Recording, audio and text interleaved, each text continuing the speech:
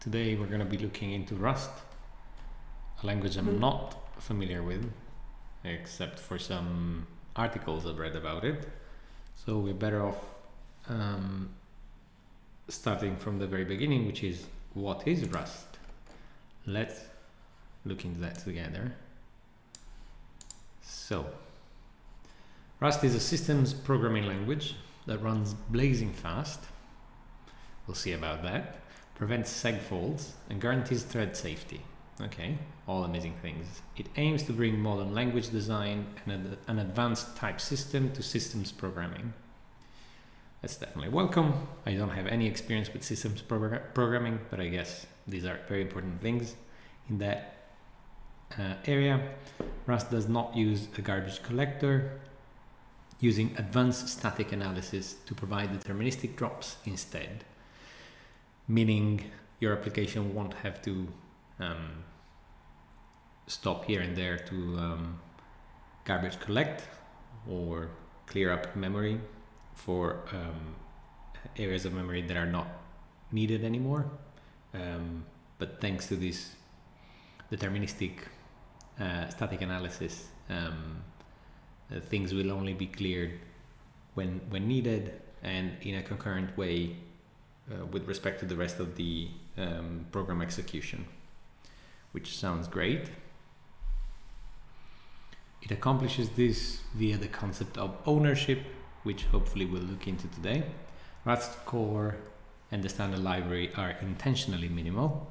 Batteries are not included. Rustaceans, okay, that's the name, we'll have to get used to that, are instead encouraged to add libraries called crates to the language by sharing them on crates.io. Okay, let's see what that looks like out of curiosity. Uh, okay. Very uh, 90s looking, but hey, whatever gets the Rustaceans going. Mm-hmm.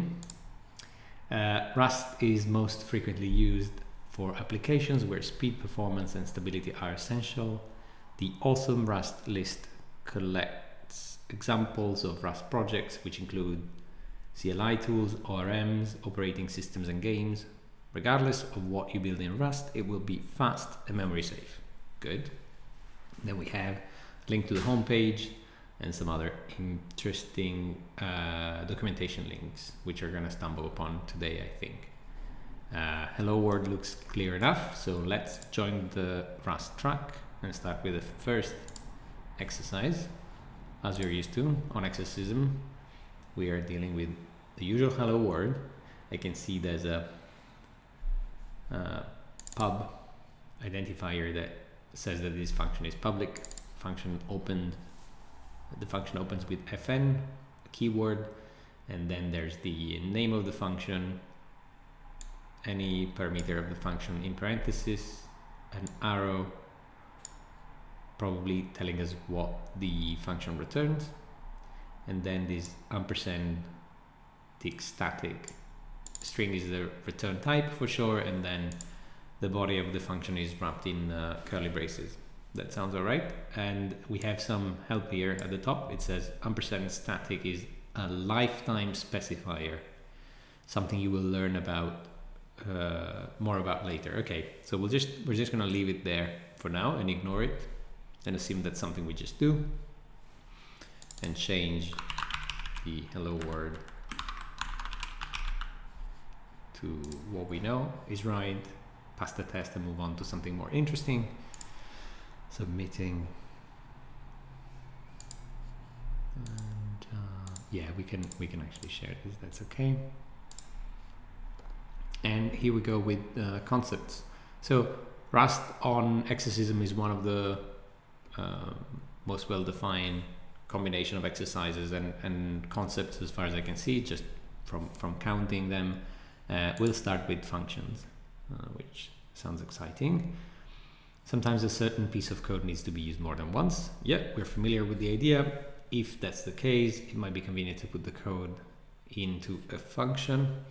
A function generally only performs one specific action, which hopefully by now we know. In Rust, the fn keyword is used to define functions. We had inferred this. The code belonging to the function is always between braces. And the function name main is a special one because it is the entry point for the programs. From that function, you can call other functions. Okay, nothing new here. Uh, you can also see some uh, type de declaration on, on the arguments of a function, which we haven't seen before.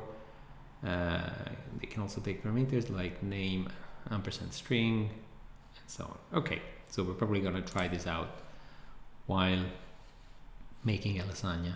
So let's get going with this. If you follow the other two um, videos I've posted, you know everything about lasagnas. But if not, just go back to one of the videos. You'll find them in the description of this one. Um, and this might also be an opportunity to define function, uh, sorry, to define constants uh, or whatever gets the closest to that uh, in Rust. And it seems like we are uh, on the right track. Uh, it says that we can assign a value to a name referred to as binding and bindings rather than variables. Bindings are immutable unless declared with the mut mute uh, keyword. As Rust is statically typed, each binding has a type known at compile time. Okay, so if we intend on changing the value of a binding, then we want to mark that as mute. Otherwise, we mark it as with a let uh, keyword. Um, the type of a binding we don't have to specify, uh, but that's optional. And the type inference of the language will just figure it out on its own if we're lucky. Okay, especially if we're using literals. Um, that sounds good. I'm also noticing semicolons. Surprised. I am a bit surprised. Okay. Uh, functions are items where bindings typically refer to a particular value. Items refer to a unit of code organization, typically a function or a module, which is available throughout the lifetime of the program. Okay.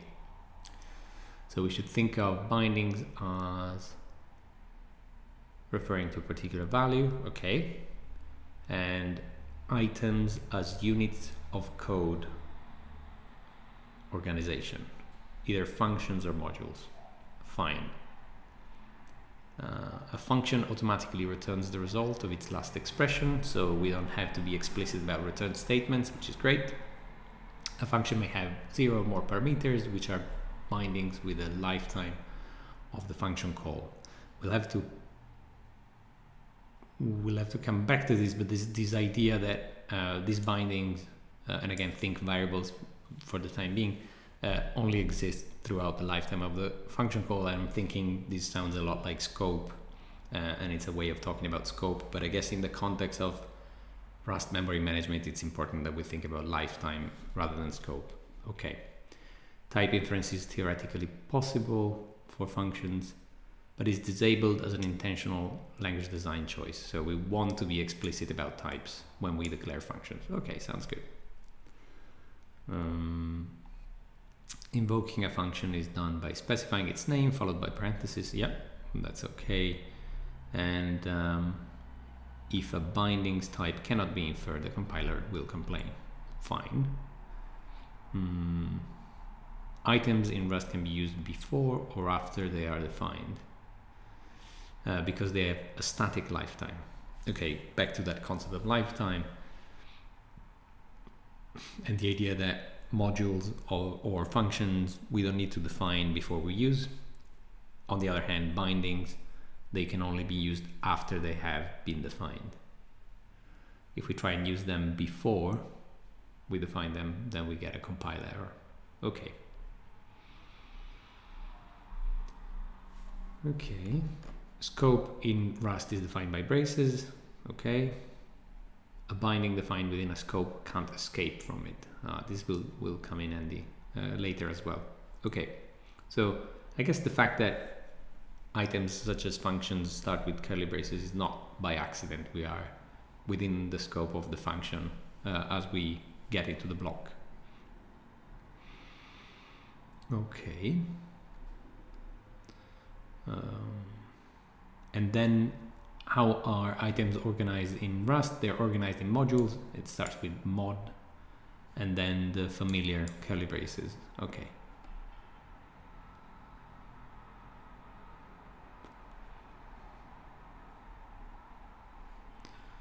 each uh, is implicitly a mo each crate is implicitly a module, but it can define inner submodules uh, of arbitrary depth.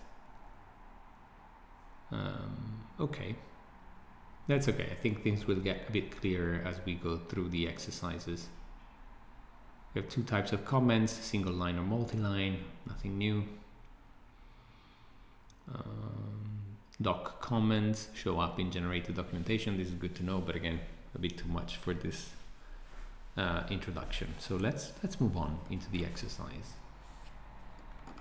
Okay, so the first thing we want to do is we want to define some sort of constant, and again, from what we understand, we should be able to just say let, and then say um, oven time. And I don't know what the convention is. So yeah underscore yeah snake case. Oven time is 40 and we need the semicolon and then we should be able to reuse that binding inside the function unless the scope is somehow not able to look out but I think maybe we can try this out and see how it goes oh actually there's something different going on here which is that oven time is defined as a function rather than as a constant. Okay, let's try that out. What if I return 40 here? And do I have to use the semicolon? Let's see.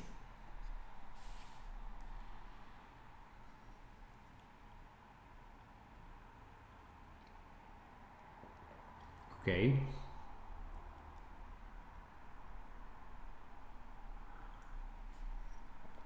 tail. Okay, remove this semicolon to return this value. Okay, if I want to return, then I remove the semicolons. Okay, let's see. Hmm. we'll get, we'll have to get used to this, but okay, fine. An expected minutes in oven is what we're using as a as a constant, same same as a constant basically. Remaining minutes in oven we'll do we'll do expected minutes in oven minus the actual minutes and return the value without the semicolon. Looking good. And then for elapsed time in minutes for multiple layers, I don't know if you remember, but we want to define, we know that each layer takes a couple of minutes to prepare. And so the preparation time in minutes, provided the number of layers, is given by two times the number of layers. And I wonder, I mean, we can we can try this out. I wonder if we can, what happens if we define a variable? So in, in other languages, this wouldn't work, right? Because if it's just a variable, if we define a variable outside the function scope, we won't be able to access that variable from within the scope of the function unless that's a constant. Um, but here, I don't know, uh, layer time. If I say layer time equals 2, am I allowed to use this inside a function? And probably I want semicolon here. Hmm, consider using const. So const does exist, okay. Uh, it says for glo global variables want const Okay.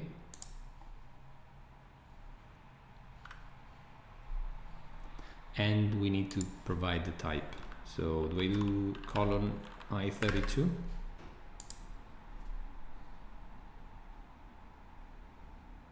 Brilliant. I think we're, yeah, we made it. I don't know if there's a convention for Rust constant convention on naming all character in constant names are usually uppercase. Okay, so that would look like um, layer time, something like this, and then we can use that here. And we can also move on to the next task, which is about implementing, calculating the elapsed time in minutes. So how much time we spent cooking the lasagna and we can reuse the functions we've just defined and just return uh, remaining minutes in sorry preparation time in minutes on the number of layers.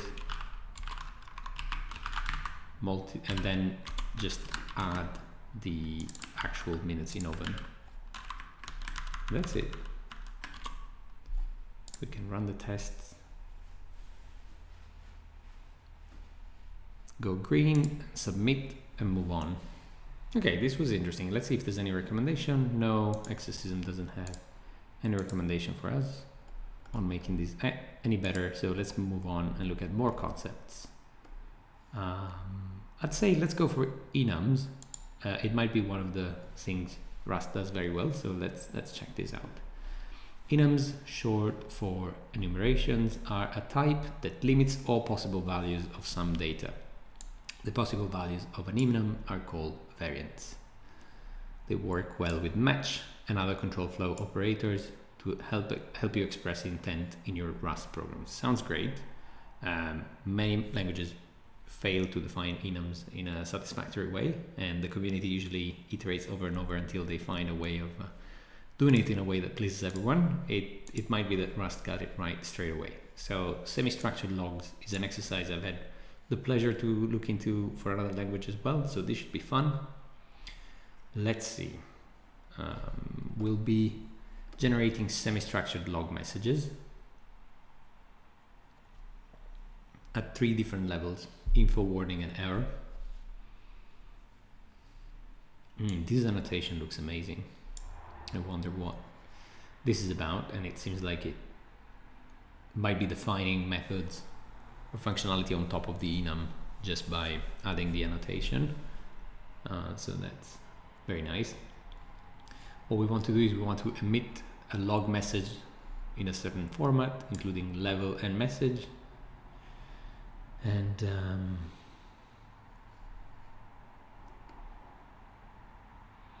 and also define uh, specific um, special functions for each one of the levels, just shorthand uh, function for each one of them. And then if we want, we can do a bit more, but I don't think we can access um, that advanced extra bit of functionality through the web UI. So that's gonna have to do. So first step, emit semi-structured messages. Oh, sorry. Uh, you'll start with some stub functions here we are. So we have info, warn, error, error, and log. We'll probably want to reuse log in each one of these. Or the other way around. Let's see what comes easier.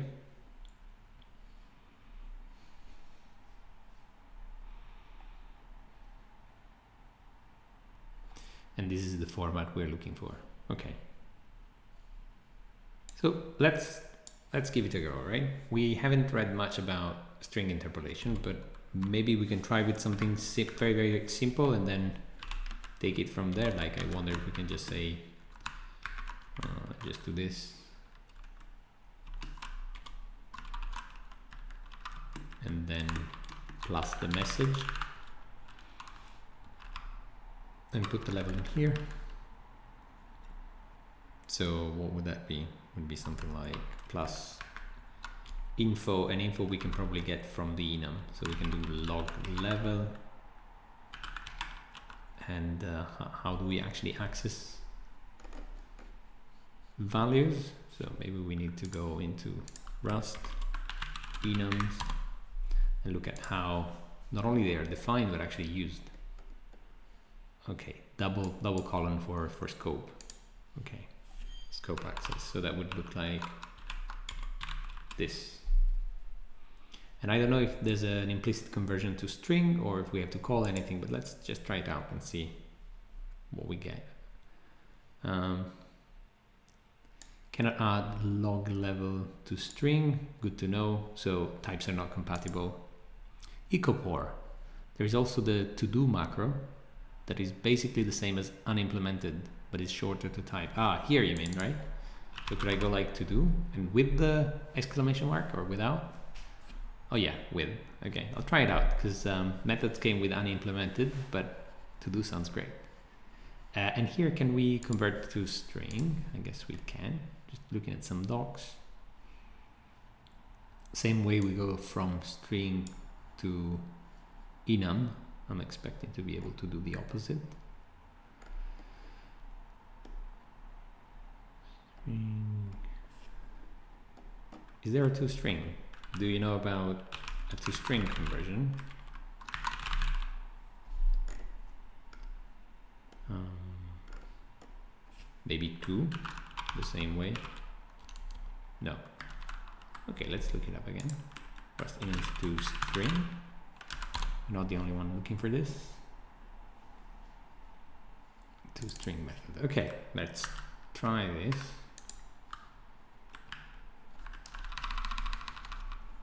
And see if this Uh, yeah, and I forgot the parentheses, so I think I need to actually go open close parentheses.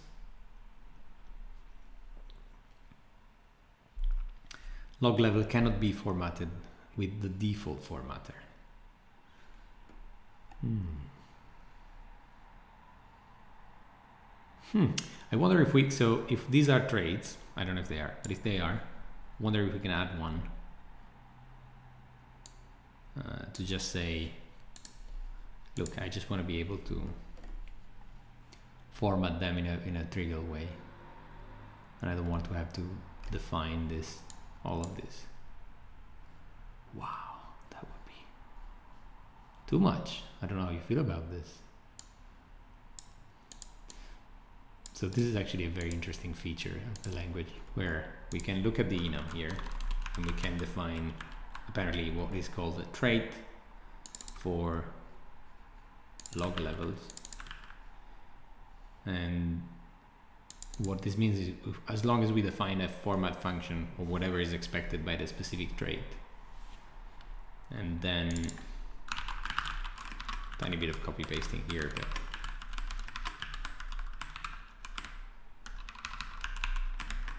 provide a conver conversion to string or formatting to string then we can use the toString method which is nice. Let's see if it works because if it does I'm just it's a great thing to learn I think.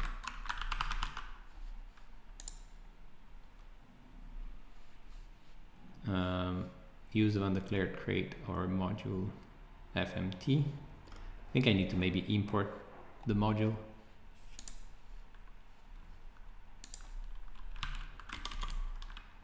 Uh, how do you do that in Rust? Import mt. Use, okay. Let's see. Maybe we're straying away from the intended intended exercise, but use undeclared type level yeah this is log level rather than level maybe that was the problem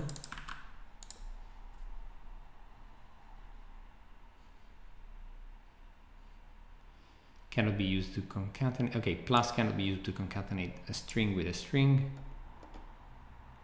uh, create an owned string on the left and add a borrow on the right okay we're getting a bit too deep into this I just want to format the string um, can I just do Rust string interpolation.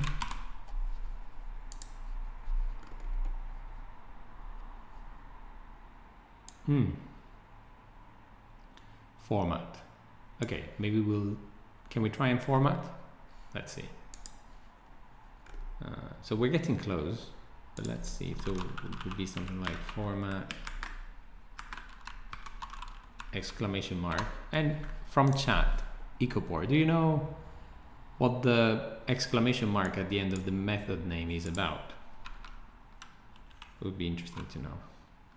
So we'll have something like level or actually just this then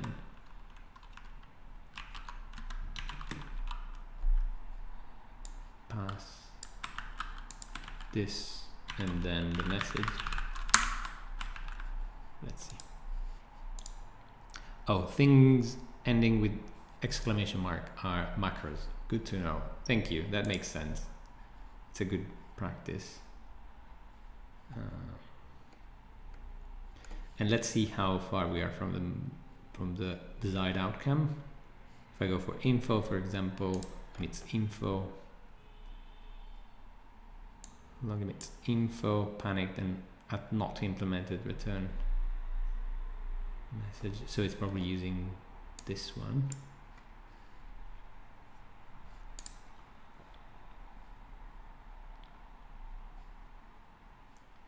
all right so capitalization. Okay nothing nothing big. So we implemented this right. It's just that it wants a capital level here. So we'll just look at how we capitalize Rust capitalize like uppercase string. There's probably some oh yeah to uppercase looks good enough.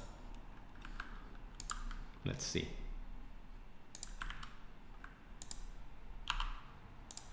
then we can maybe so uh, as usual I forget parentheses because um, Ruby and Crystal don't need parentheses when there's no argument and that tricks me. Okay, so we have made some progress. Let's try and revisit what we've done so far. And I think there are different approaches to this, right? One could match maybe on the type of, uh, and maybe that's the desired uh, behavior here, but one could match on the log level and then based on the log level type, log different things but I think it's still quite handy to define the, the format display trait implementation. Um, this is also interesting. Okay, let's see if we can, uh, how, how do we go about uh, wrapping this up, right? Um,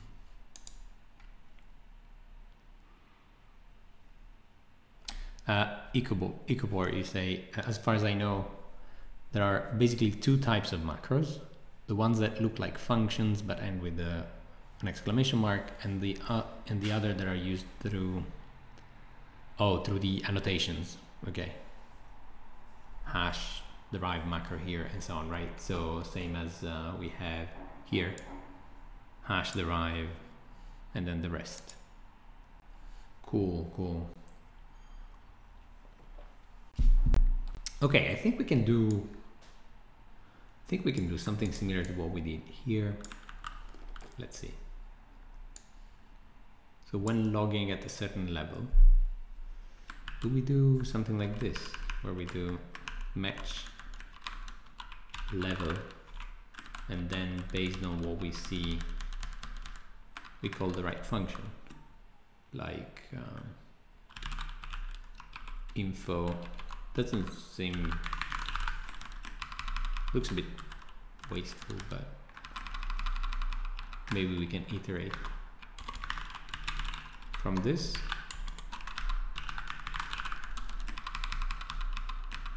I don't even know if this will um, compile to be honest. Error. Uh, there's a couple of commas here which we don't want.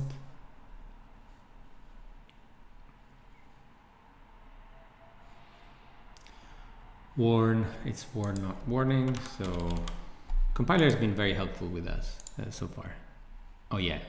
Yeah. Cool. Okay so we're passing some tests now. Uh, this seems to do the trick. Uh, we just need to apply the same approach to other ones. But then I, I guess at this point one could just say look just do this can you? Just format and then do level to string. Forget about the match thing uh, altogether. Let's see. Yeah, that's yeah, I think this this will get us there unless we uh, okay yeah this works a bit better And then Ecopor, uh, with, sorry, I've got a bit of delay on the on the chat. You mentioned yes, derived clone is expanding to a derived clone for the annotated type and so on. Sorry, Im implement implement clone, yeah. And clone is a trait. That makes sense. Okay, yeah. There's something similar in Crystal where you can add um, the implementation of a bunch of methods onto a, an object just by uh, bringing in um, some uh, some macros. I'm thinking about well, usually you would just in Crystal you would just call the macro within the body of the module or the class, and that would, for example, implement the clone methods or the equality as it normally is intended, uh, structural equality or comparison, if you will. Okay, I think we are getting there. And I think the next step would be to just say, look, now we've gone through the trouble of defining log in a very clever way. We might as well just do log uh, log level info and then the message and do the same for the other two functions and then then we're good so this is going to be log level warn is it? Yeah, warning. And this is gonna be log level uh, error. Okay. I think we'll, we're gonna be green now. Um, I guess the, the question is whether we were supposed to actually go the format display way, but I think this was super instructive, so very grateful that we got to try that out. No recommendation as far as I can see and we can share this with the world. Thank you Ecopor for um, the support in, in figuring this out. Very very good to know a bit more about concepts uh, like like macros in in uh, Rust. Although we don't need to know how to write them it's good to know when when you're you know stumbling into one uh, let's move into floating point that's going to be interesting to compare Rust with other language we are more familiar with um, floating point numbers are numbers with zero or more digits behind the decimal separator. Okay, nothing new here. Then we have some examples. Uh, cool. We are in the assembly line. Uh, we'll be writing code to analyze the production of an assembly line in a car factory. The assembly line's speed can range from 0 to 10. At its lowest speed, 221 cars are produced each hour. The production increases linearly with the speed. So with the speed set to 4, we just go 4 times 20, 21, sorry, 22, 1 um, cars per hour. However, higher speeds uh, increase the likelihood that faulty cars are produced, which is something we've seen in similar exercises for other languages. Okay, so the success rate drops from 100% to 77% uh, as the speed goes up we should calculate the production rate per hour and then the number of working item produced per minute. Okay, we've uh, let's see where we get um, production rate per hour. We have some instructions here, and I think we can maybe define a set of constant uh, to make it a bit easier for us to um, go through this. For example, well, let's see. Because uh, the production rate per hour based on the speed is going to take into account the success rate, yeah? And so, so 222 is definitely a constant. So constant, uh, let's say speed equals 2 to 1 or if you want what is what is this uh, is speed is 221 we might have to tell the compiler what this is so I'll say it's an int32 and then what else? We have a set of success rates. Uh, we can um, extract them in a moment but here we're saying if the speed, and I don't know if we're supposed to go if already, but if speed is less than 4 less or equal let's say less than 5 then we do something. Do we have a ternary operator in rust. That might make our life a bit easier. Um, no but we have a short syntax for if else. So let's try this out. So if we do if so what was it? No parentheses just curly braces in the body of the if. So if speed is less than 5 then we do so we always do we always do speed times base speed. And we call it uh, without fault or without or before fault. Units before fault. And we say this is a let just a binding. And we say it's speed times base speed. And then if it is less than 5 okay we can do this. We can return units before fold times whatever comes out of it of this thing which is if speed is less than 5 then it's going to be a 100% rate. So we just return 1 else do we have else if? No. Do we? Okay fine. Let's let's try with just else and say if speed is less than what was it? 9 then the rate is 90% 0.9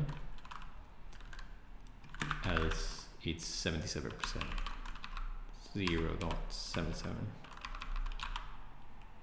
and I'm gonna read the suggestion. Yep regular if else there is no shorter version. Okay. Happy enough.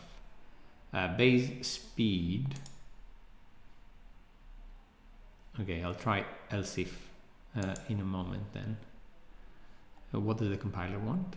I expect u8 found i32 hmm interesting. Let's speed. Okay we can make this an unsigned integer. Can we 221 what does it go for u8 to to the power of 8 should be okay? Yeah we can make this a u8 an unsigned integer with 8 bit. And then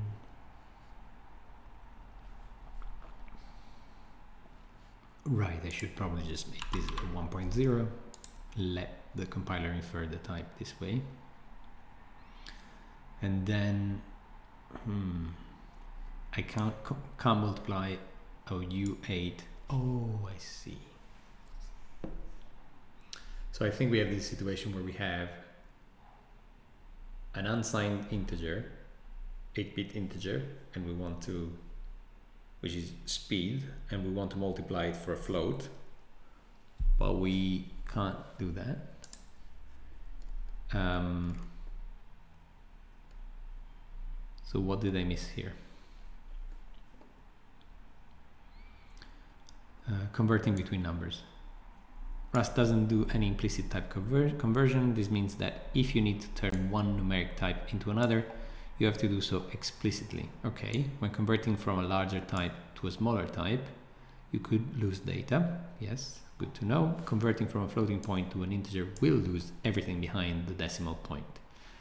But we're not told how to do the conversion. So I am assuming I can do something like, um, what was the complaint here? Float. Can I? And just say uh, float conversion in, in parentheses. Does that even work?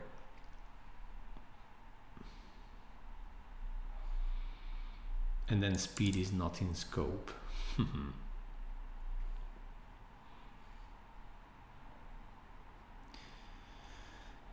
okay, cannot find function float. Okay, in this scope. Okay. Mm, so how do we go about converting uh, Rust float conversion int float conversion f64 okay f64 is what we're after makes sense because um, seems like we have to let the compiler know how many bits we want to allocate that number and now we have found built-in type f64 yes.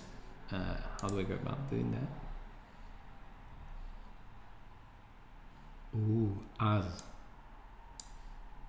Okay fine. So conversion to an f64 would be something like as f64 wow this looks a bit dangerous. I don't know if I'm doing this right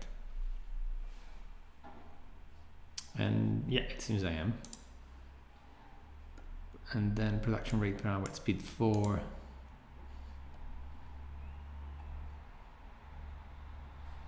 we're failing attempt to multiply with overflow. Okay.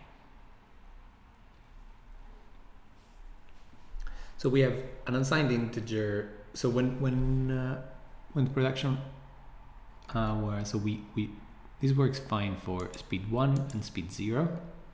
As soon as we go to speed 4, we are attempting to multiply with overflow, which is a great on, on line 8. Uh, which means that, oh, I see, I see. Because I was just thinking it's going to be okay to have a U8 for 221, but then actually we multiply and we get out of the 8 bit because we have so 2 to the power of 8 so how many integers can we represent here? So with um, one so with with one bit we represent two integers. With two bit we represent four. So with 2 to the power of 8 we represent so one to the power of 5 32 64 128 250 um, yeah 200, 256 and then we go up right? So I think what we should do is we should keep this as an inter uh, as an i32 just to not have to worry about it and then convert the speed to an i32 so that we can go about doing our multiplication with no problem and no overflow risk. And then we convert the units before fold to f64 we might even just go straight into F64. But okay, let's see. A bit better, okay? So we passed all the tests for the production rate. Um, and again, since speed was an unsigned integer, sorry, an unsigned int with 8 bit, um, it's, and we have to multiply that by 221, and we have at most 220, 256 integer represented that way with an unsigned integer of 8 bit, we have to actually convert to another uh, representation to be able to multiply 221 for uh, a number larger than 1. And so the decision here was to just go and say, look, let's stick to integer 32. Might be a bit wasteful, might want to go down a bit, but you know, whatever allows us to represent 221 times 9 uh, or times 10 actually because that 10 is also a, a, speed that is um, possible to achieve. Uh, so whatever allows us to represent 2210 integer we can go with that representation if we care about uh, memory. And then from that we make sure that we are multiplying compatible values in terms of types. We do the same thing when we want to go to floating 64 and then depending on the speed we multiply with for by by the success rate, which is 100%, 90%, and then 77%, depending on how quickly we are producing cars. Um, and if we want to co compute the number of working items per minute, this is going to depend on the speed, and we are going to use the production rate per hour. speed, this is going to return an F64, and if we divide this by 60 minutes, we're gonna get a floating point number representing the number of cards we produce with success per minute. But here we want an integer, uh, an unsigned 30 integer of 32 bits. and we just want to know how the spec wants us to approximate to that. Uh, how many working cards are produced per minute um, and we probably want to go down so round. And maybe maybe we can just convert let's say this number which is an, an F64 as a U32 and we're going to lose the information on the decimal points and that's going to be okay. There you go. Okay. Lots of learnings. It feels like um, every exercise so far has been a bit of a brain melting exercise, but one where we learned a lot. So happy with this so far. Um, I suggest we take a short break and then we come back. What have we done so far? We looked into functions, integers, constant definition. We implemented the trait, which I don't know if it was the intention of the uh, log formatting exercise, but that was great. We looked at enums. That was also really interesting. Uh, and so what's next? We have structs, methods, external crates, and vec, the vec macro. I think we can start with struct and see how far we go. Um, it says it is often useful to group a collection of items together and handle those groups as a unit as units. In Rust, we call such a group a struct. And each item uh, and each item one of the structs field. Well, I don't understand this sentence. A struct defines the general set of fields available, but a particular example of a struct is called an instance, not dissimilar to other um, languages. So let's see if we can do health statistics. This is the first. We're working on implementing a health monitoring system. As part of that, you need to keep track of users' health statistics. You'll start with some stub functions in an impl block, as well as the following struct definition. Okay, a user is defined as a group of three bits of information, name, age, and weight. Your goal is to implement the stubbed out methods on the user struct defined in the impl block. Okay. For example, the new method should return an, an instance of the user struct with the specified name, age, weight, and weight values. Sort of like a struct constructor, let's say. So it sounds good. The weight method should return the weight of the user and so on and so forth. And I can imagine if one is actually working with Rust day in and day out, they have plenty of macros to actually do all of that for them because they don't see people having to redefine this sort of constructor and uh, getter methods uh, for, for structs but I guess it's quite instructive to actually do it on our own uh, before we move to using macros. Wow, the introduction is quite dense. Let's let's go through it. Mm. Structs can have methods defined on them, much like uh, objects. Um, and the struct is referred referred to internally as a, as a self. The same as in uh, I guess Ruby, maybe Crystal, Scala probably. When a method uses ampersand self, the fields can be changed or mutated. When a method uses uses ampersand self, the fields cannot be changed. They are immutable. Okay. Control immutability helps the borrow checker ensure that entire classes of concurrency bugs um, just don't happen in Rust. Okay, we're to be careful with that. Yeah, and on the topic of macros, Ecobor, you mentioned Ecobor. Why do I keep on doing that? Ecobor, I'm sorry, Ecobor. Uh, uh, you mentioned that there is a derive default which implements a default trait uh, that has a single default method that returns the default value, which makes sense. Uh, and I can expect there's, there's even richer uh, stuff than that, right? Um, in this exercise, so thinking about this borrowing uh, sorry, these mutable, not mutable references to self. I guess when we're defining getters, we want to make sure we're using ampersand self, and we are when we are setting fields, then we want to use ampersand mut self. Um, in this exercise, you'll be implementing two kinds of methods on a struct. The first are generally known as getters. We are familiar with this, and then in Rust, these methods idiomatically share the name of the field they expose Okay, that's quite common.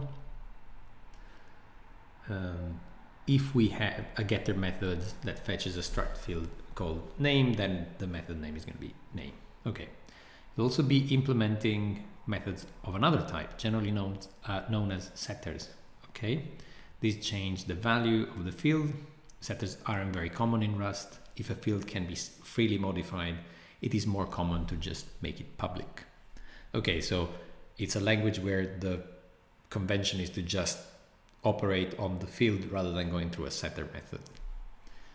Okay, but they're useful if updating the field should have side effects or for access control. Okay, a setter marked as pub crate allows other modules within the same crate to update a private field which can't be affected by the outside world. Okay, maybe this is a bit too much for where we are right now. Uh, structs come in uh, three flavors. Structs with name fields, tuple structs, and unit structs. For this concept exercise, we'll be exploring the first variant, structs with name fields. Structs are defined using the struct keyword followed by the capitalized name of the type the struct is describing. And additional types are then brought into the struct body as fields of the struct, each with their own type. Makes perfect sense.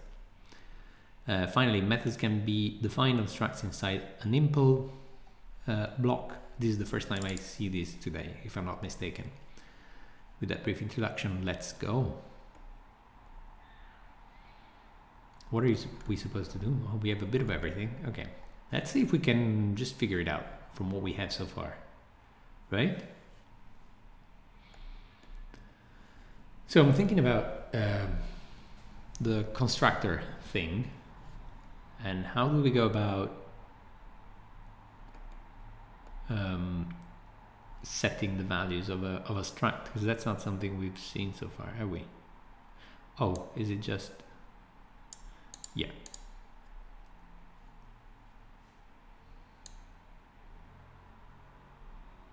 How do we go about defining uh, a struct we assign values to a new thing. Hmm. I think I'll ask Google how to do that. So Rust struct definition new define instantiation. That's what what I actually want.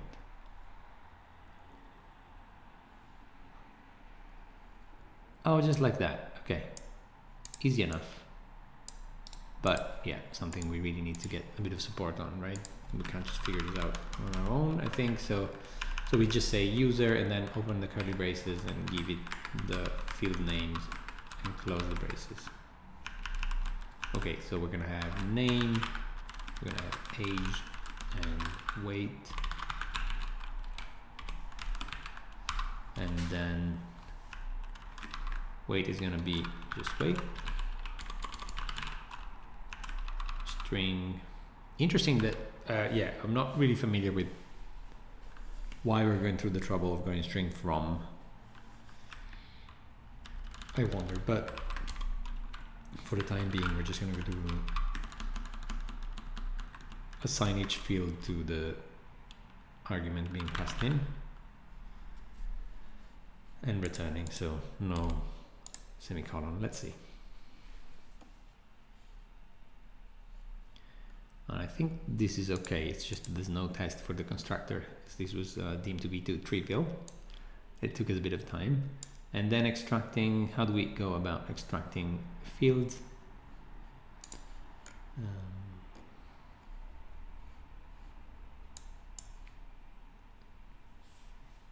can we just access the, the value? So just self we just say self dot name.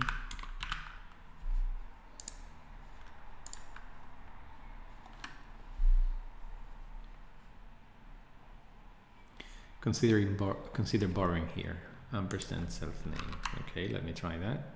And then we can reflect on why this works or not. Okay What if I don't do this?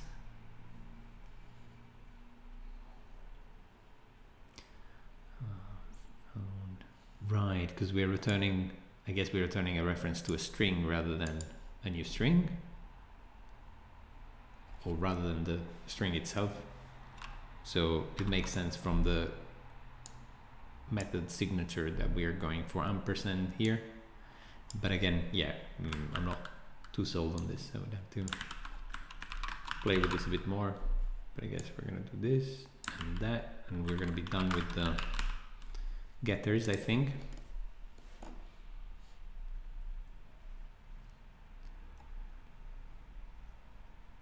And in this case, okay, I guess this is all based on the way integers and strings are allocated, but uh, I guess strings are allocated dynamically and we're passing a reference to them, and for integers, we're just passing the instances. But I would I would have to check what I'm saying is actually accurate. Uh, okay, and then let's define the setters. You can see that the reference to self is now self is now mutable and can we just say self dot set, set age equals new age and also I wonder what we want to return here it, it seems like we're not returning anything so I'm just gonna put a semicolon at the end and let's do the same for weight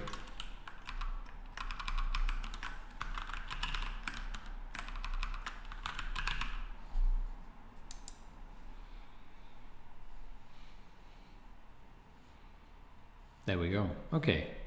I also wonder what the habit, like what, what the convention here is with um, uh, setters. It seems like setters are not returning anything, so you just have this side effect, and then you want to, mm, you have to go back to the object reference to do uh, others to perform other side effects. But again, interesting to hear that one would access the field directly. In other languages, I guess coming from Scala, and then that's something I tend to do on, on Crystal uh, objects as well. The idea is that when you define setters, you're actually creating copies of the original objects. Something nice about that is that every setter call will return the new object. And that also means that you can concatenate calls to setters in a way where we do start from a user object and then you set age, set name, set weight, and that generates a number of different objects and it might feel a bit wasteful because you're going through the you're allocating memory for each one of these objects but at the end of the day um, you know depending on the context the value might be higher than the actual uh, wasted memory allocation. Um, especially if you're working on uh, objects we, whose field reference um, uh, dynamically allocated um, stuff uh, and so you're you're never you're not allocating more memory you're just defining new pointers to areas of memory that might be um, important. So yeah interesting interesting approach. So so far we've gone through quite a few concepts we've uh,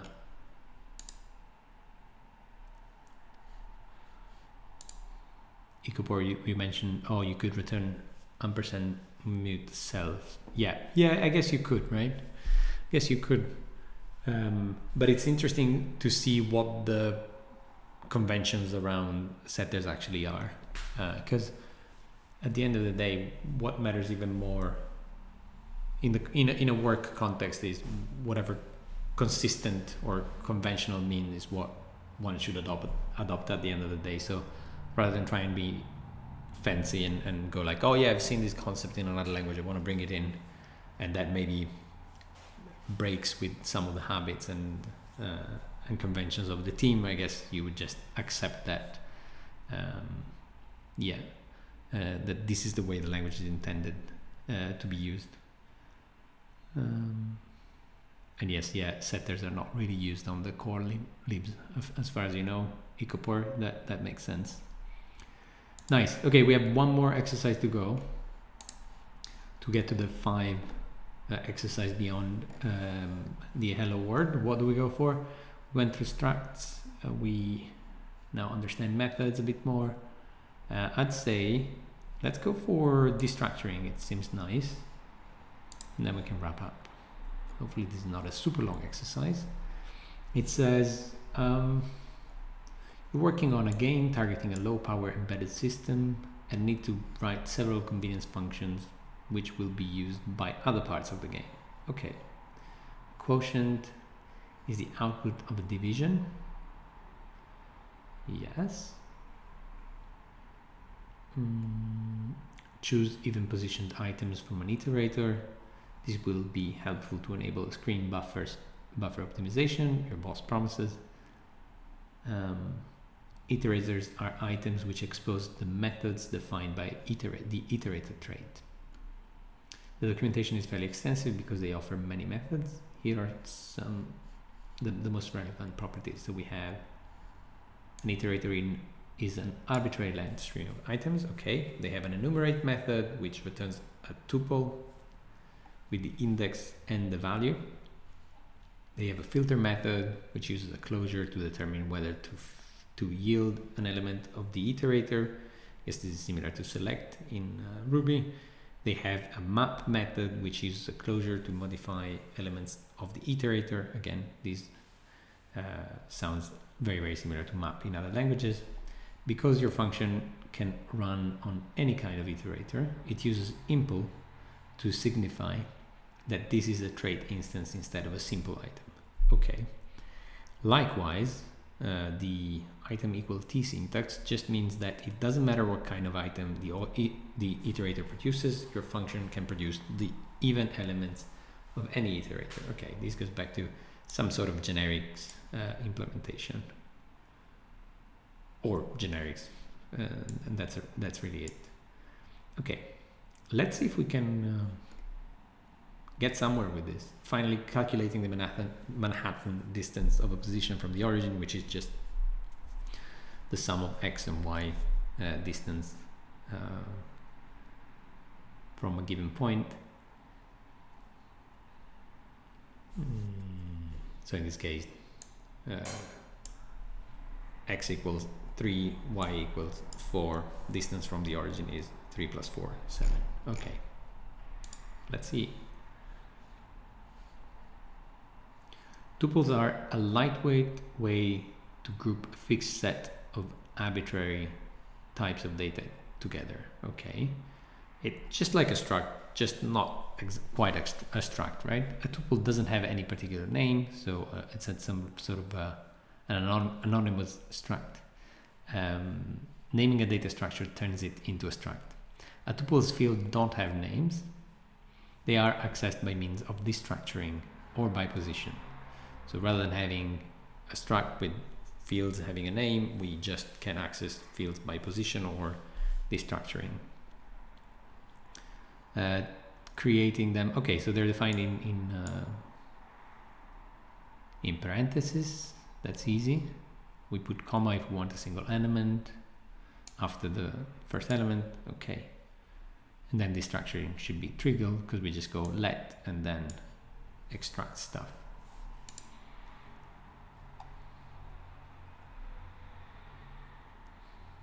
Meanwhile, yeah, thank you, Ecopor. Yeah, you mentioned the type vec represent a vector and has one setter method that returns nothing. Yeah.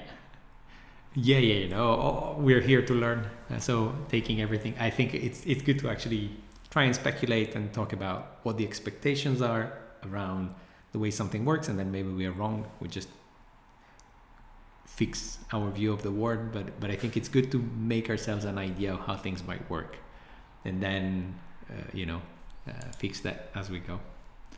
Redefine expectations. Thank you for for um, making this this conversation interesting. Um,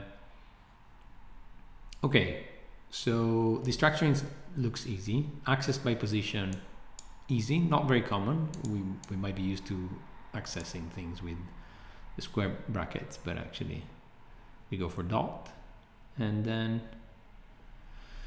tuple structs, you will also be asked to work with tuple structs. Like normal structs, there are, these are name types. Unlike normal structs, they have anonymous fields. Okay, their syntax is very similar to a normal tuple.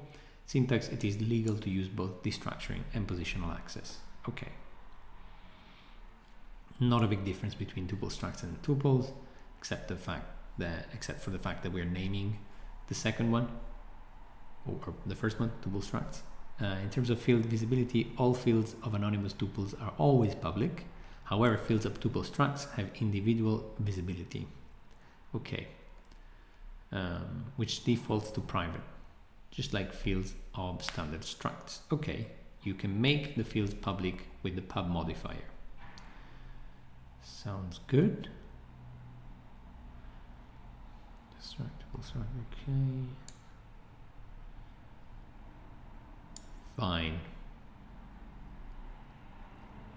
Fields are public. Okay, so if we add the pub modif modifier to the field definition, then the field is going to be public. Instruction, let's go.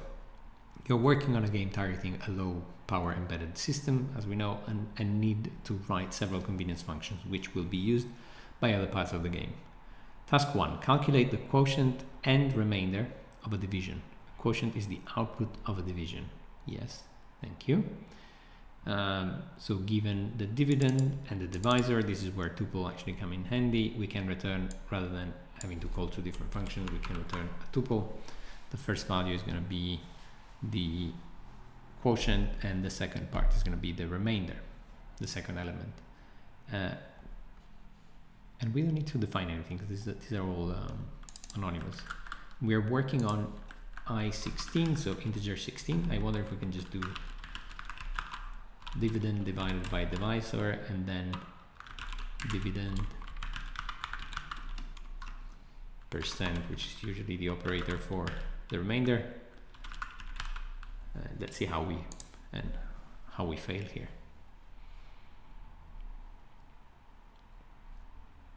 Nice. Okay, we're off to a good start. So we define an anonymous tuple, and this is very handy again in the context where you you want to return more than a value out of a out of a function, and you want don't want to name that that object being returned. So that that's handy. I wouldn't recommend stretching this, but definitely good for something like divmod. Uh, what about the second part of the exercise? Choose even positioned items from an iterator. Okay. Uh, so we probably want to filter. Yeah. An example, an example of that would be to go a dot iter, then filter, and then this is how we define a predicate. It looks similar enough to what we might be familiar with from other languages. Let's see. So can we just do in sorry iter dot filter because this is already an iterator, and then we filter x. So something like is even. I don't know if this even exists. Let's see. And we probably want to remove the semicolon is even doesn't exist, but we can probably say we can reuse the operator we just defined just for the sake of reusing stuff and say give me the div mod of x and 2 and take the second element which is dot 1 and I want this to be equal to 0 because that's what even numbers have in common. The remainder from the division by 2 is um, 0 and then on expectations on types so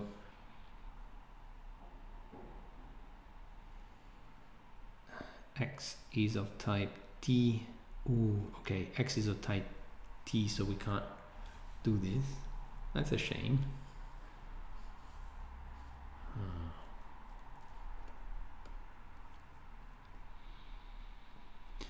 we don't really want to assume that t is an i16 but then it's a bit of a shame that we define the function without them being able to use this. So, so can we just say this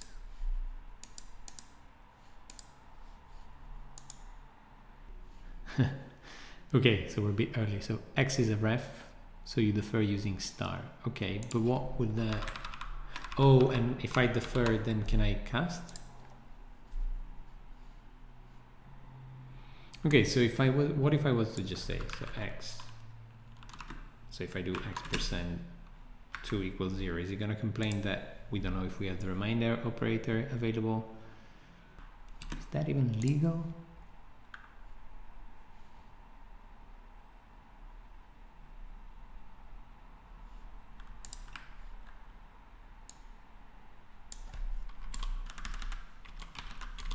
Oh, is rem a keyword, a special keyword? Oh, not, not 36 here, 16 is what I meant.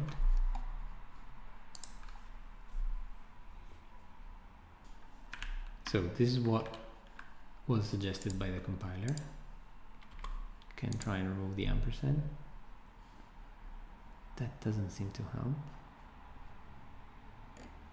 Core ops, rem, oh my. Is this something I need to do?